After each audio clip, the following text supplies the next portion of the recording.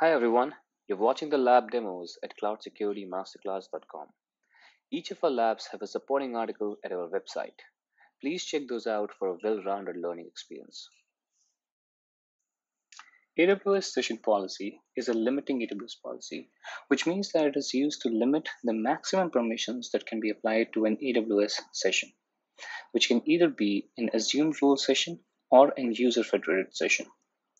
Session policies are very similar to permissions boundary and service control policy in the way that instead of granting or revoking permissions, it is used to limit the total permissions. But the way it differs from these two is that it applies the limiting policy to an assumed session. On the other hand, permissions boundary applies it to, an identity, like user role, and SCP applies to AWS accounts. This diagram shows an example of how session policies can be used in a mature cloud company. Here, uh, a SSO portal first verifies users' credentials using the company's corporate identity provider and then assumes AWS roles to provide short term credentials for AWS Console and AWS CLI. The scenario is covered in detail at our website, cloudsecuritymasterclass.com, so please check it out. But in summary, in this scenario, multiple user identities are assuming the same AWS role.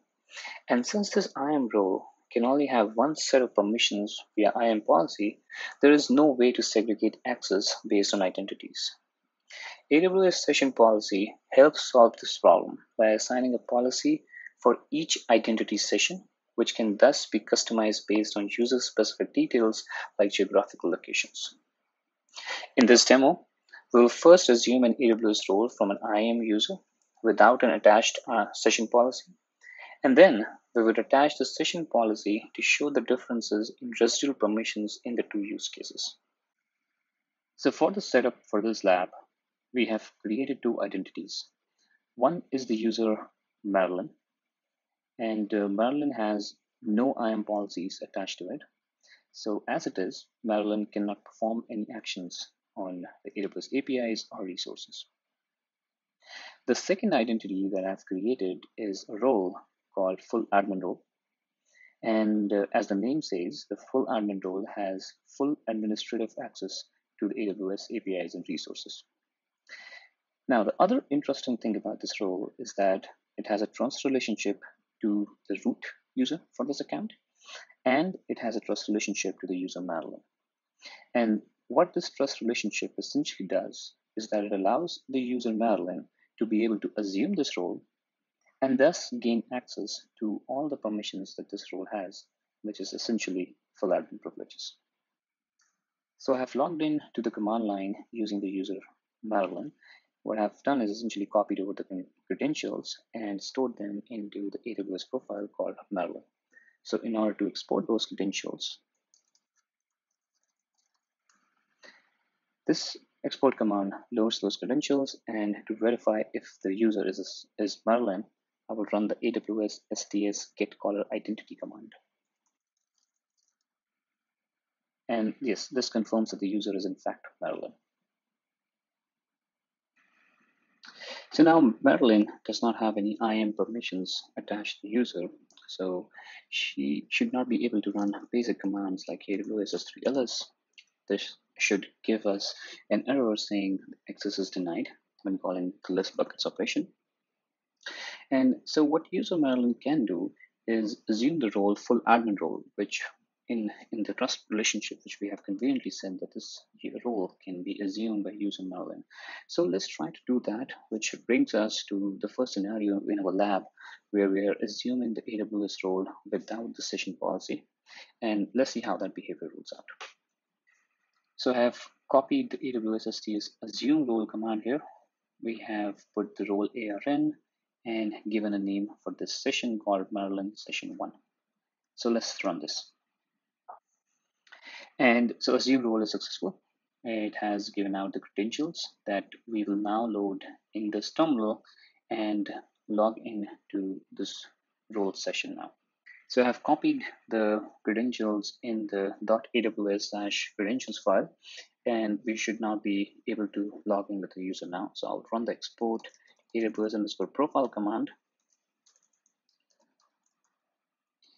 The name of the role that I have provided in the file is role without SP.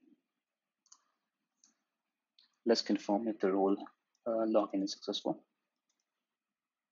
Yes, so the logged in user now is an assumed role, um, full admin role, and the name of the session is Marilyn session one.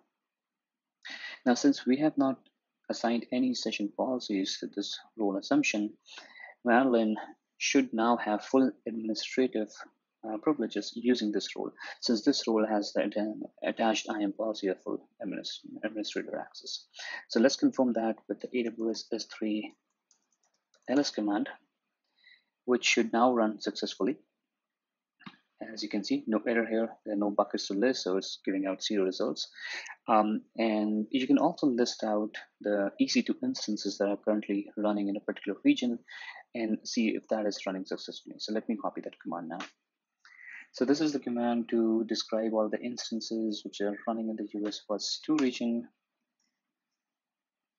And uh, this essentially says that there are no resources running, but since there's no error, this tells us that this command is actually running uh, successfully and this command is allowed to be run by this um, role. Now let's come to the second half of our lab and let's see how attaching a session policy to role assumption changes the behavior that we just witnessed. So I'm going to go back to my user Marilyn. And let's just confirm if the user is in fact Marilyn. Yes, this confirms the user Marilyn is logged back again. And now I will run the assume role command, but instead of the usual assume role command, I'm to have the session policy attached to that command as well. So let's take a look at that command first.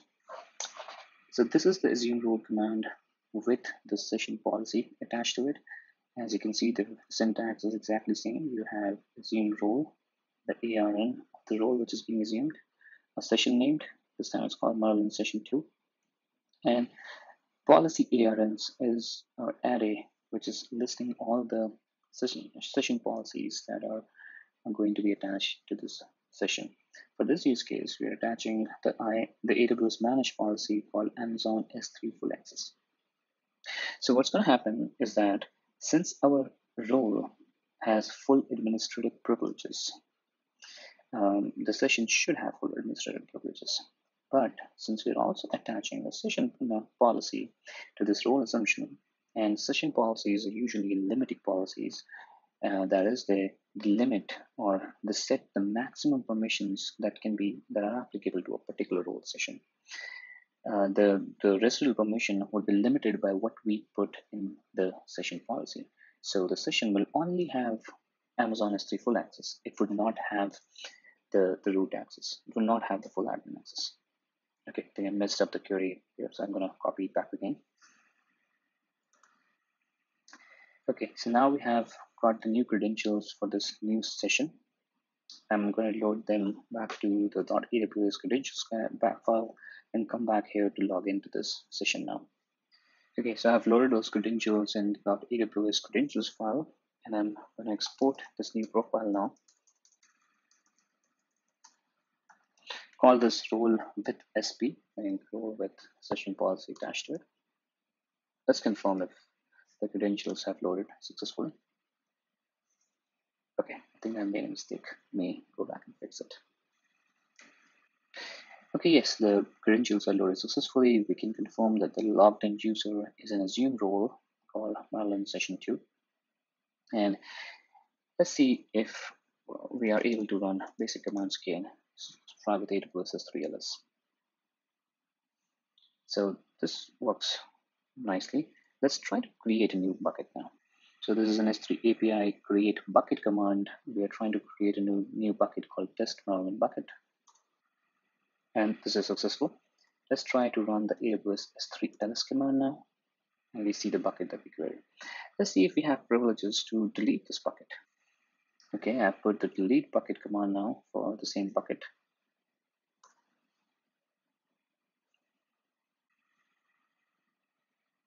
And yes, the bucket is now deleted. So what this means is that our assumed session has the AWS S3 privileges. But let's try something else. Since we know that this was provided by the session policy, this was really expected. Let's see if something like EC2 uh, privileges are also present. So we know this command was working before when we did not have the session policy attached to it. Describe instances in the US West 2 region. Let's see what happens to this now. And this one gives you an error, describe instances. So this is because of the session policy as it's limiting the maximum permissions that this session can have, even though your user, um, the role right now has full admin, admin privileges, but for this particular session, since we have the session policy attached to it, it's limiting the maximum permissions that are allowed in the session. If we switch back to our role, which does not have the session policy attached to it, let's just double confirm to see what happens there. So I'm back in this role. Let's confirm that. So back into the Marilyn session one, let's run the same command again. And yes, this works. So this is the behavior of session policies that we wanted to cover in this lab and how the behavior of role assumption changes when a session policy is, is attached to it versus when a session policy is not attached to it. So this is it for the lab walkthrough. Keep watching out for more videos and articles at cloudsecuritymasterclass.com.